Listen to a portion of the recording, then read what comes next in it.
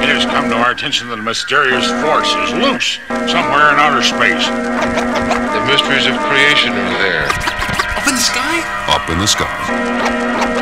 The moon and the planets are there.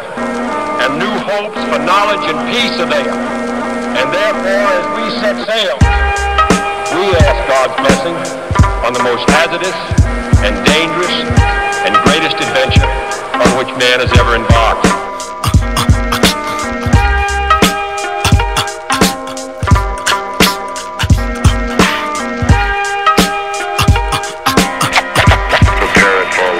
Myself, Lord and Master, shall bring disaster to evil facts.